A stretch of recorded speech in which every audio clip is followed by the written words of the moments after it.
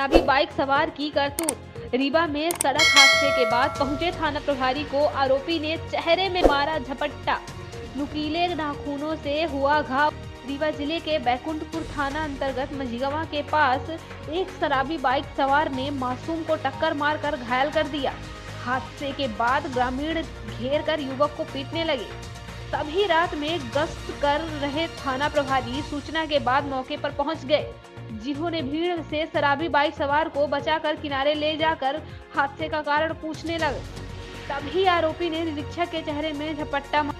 बैकुंठपुर थाना प्रभारी निरीक्षक राजकुमार मिश्रा ने बताया कि शुक्रवार की रात करीब 9 बजे अतरैला निवासी कुलदीप मिश्रा बाइक में सवार होकर सिरमौर से रीवा की ओर जा रहा था जैसे ही वह मझगमा के पास पहुँचा तो एक मासूम को टक्कर मारकर लहूलुहान कर दिया इसी बीच गाँव वाले शराबी बाइक सवार को घेर कर पीटने लगे।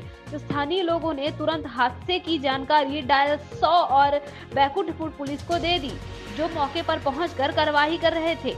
इधर आरोपी के भाई ने थाना प्रभारी को फ़ोन किया कि हादसे के बाद स्थानीय लोग उसको पीट रहे हैं। थाना प्रभारी ने बताया कि आरोपी कुलदीप मिश्रा अधिक शराब के कारण गलती में गलती करता गया। पहले उसको सड़क हादसे का दोषी पाया गया। दूसरी तरफ़ शराब पीकर बाइक चला रहा था। तीसरी घटना खुद थाना प्रभारी के साथ कर दी है।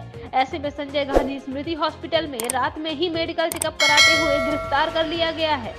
ज़्यादा जानकारी के लिए बने रहे हमारे रीवा सिटी न्यूज़ चैनल। में